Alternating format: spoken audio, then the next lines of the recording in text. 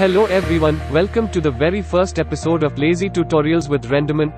If you are watching my channel for first time, please subscribe my channel. Today in this session we are going to look about ambient occlusion in Renderman in Maya.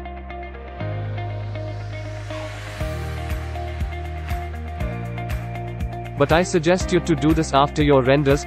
So after that on the hypershade option, create a new node called Pixar Constant and create another node called Pixar Dirt.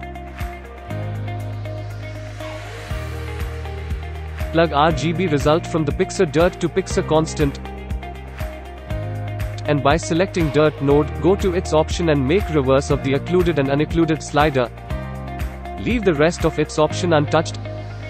And finally assign the material to the objects in your scene. Here comes your ambient occlusion pass. I hope you liked the tutorial, so let me know your doubts, suggestions and the topic for the next tutorials in the comment box. See you in the upcoming tutorials, thank you.